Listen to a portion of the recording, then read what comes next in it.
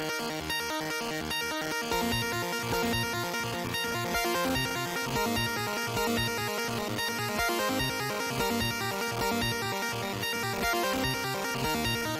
back.